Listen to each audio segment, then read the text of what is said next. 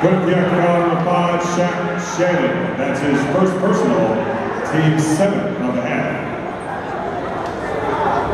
To the line for Niagara shooting one, number 14, Antoine Mason.